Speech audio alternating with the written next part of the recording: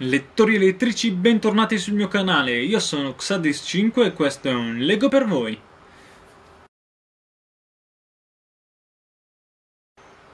Saluto tutti quanti gli iscritti, vecchi e nuovi, e spero di non deludervi. Nel caso non lo sapeste, questa è la seconda puntata della rubrica Lego per voi, nella quale vi leggerò Curarsi coi libri.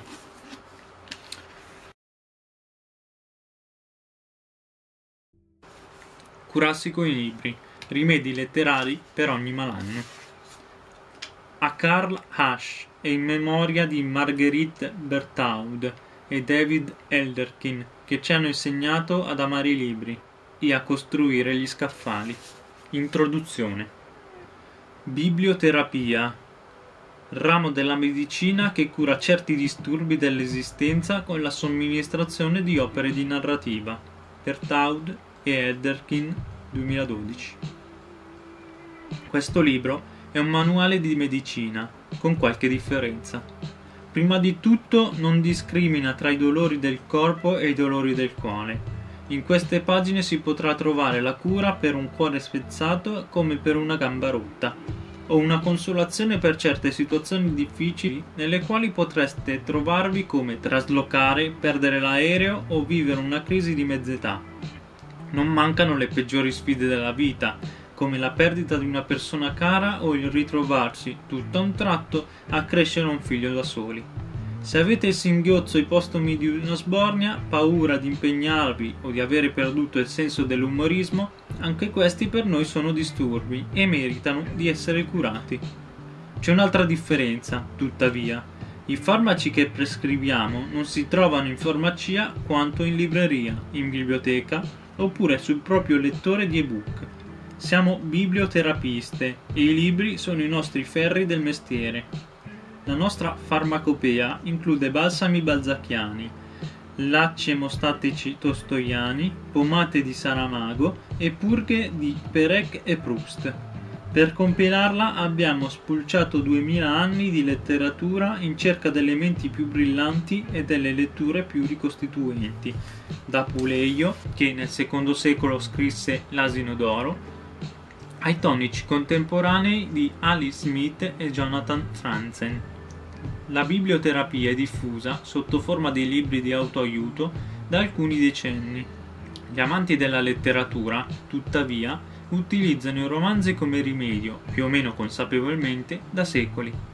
La prossima volta che sentite il bisogno di tirarvi su, o vi serve una mano per sbrogliare la matassa emotiva, ricorrete a un romanzo.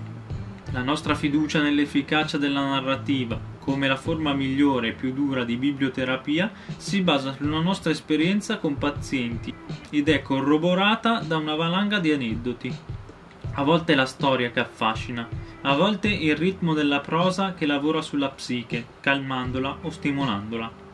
A volte un pensiero o un atteggiamento suggeriti da un personaggio che si trova invischiato in un dilemma simile. In qualsiasi caso i romanzi hanno il potere di trasportarci in un'altra esistenza e farci guardare il mondo da un altro punto di vista.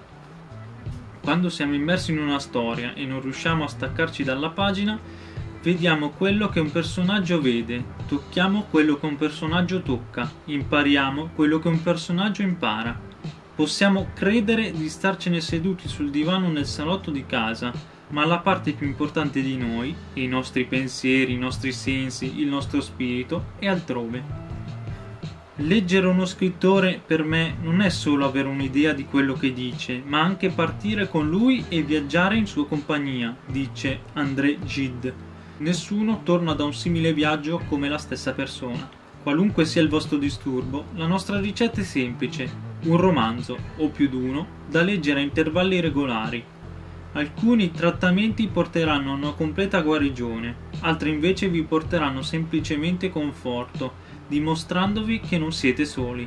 Ma tutti, alla fine, offriranno un temporaneo sollievo dai sintomi, grazie al potere di distrarre e trasportare dalla letteratura.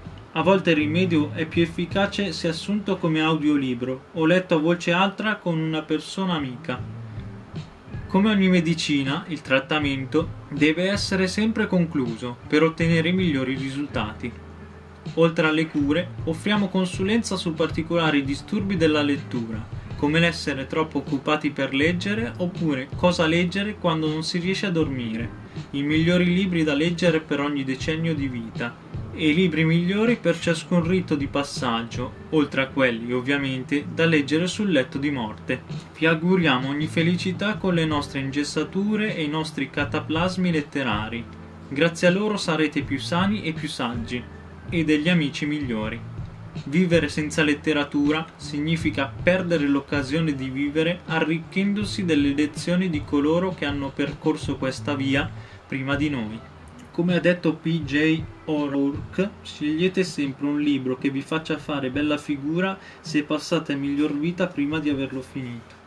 Quindi per ora è tutto, dalla prossima puntata vi leggerò tutti i vari sintomi e quindi i rimedi per quel sintomo, quindi iscrivetevi per non perdervi tutte le varie cure, mettete un bel mi piace, condividete sui vostri social network e ricordate che leggere fa bene alla salute.